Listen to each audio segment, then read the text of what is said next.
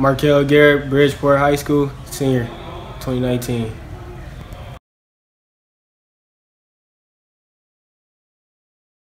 I have three brothers. Well, I have two brothers and one sister. Uh, Charles, Khalil, and Tiariana. She's my sister.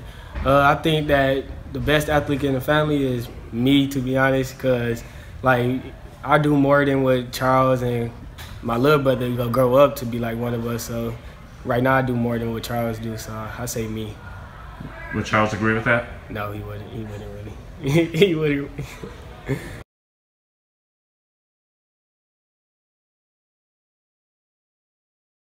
I say I like to play football more because football is like a more of a man sport, and I like to tackle people, take my anger out on the field instead of like being on the basketball court. It's showing people can see that it's on your face and on your arms or whatever. But football, you could like tackle the people, show that you mad on the field because it's intensity.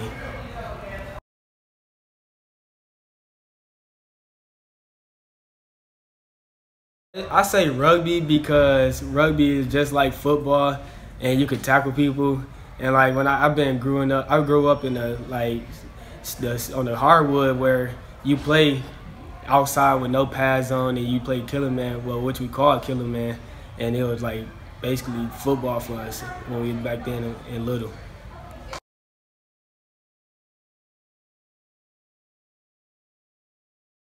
I would like the flash power, uh, the flash superpower because people say I'm not fast enough, and I say I think that I'm an average runner, so I like the flash so I could really prove that I could run fast and show people that I'm not slow.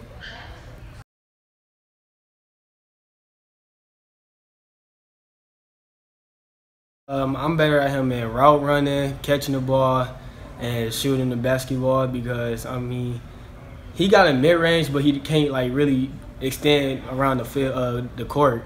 And then that route running, he say he better than me, but I got more lateral. I mean, yeah, lateral movement than him, and I could catch the ball way better than him.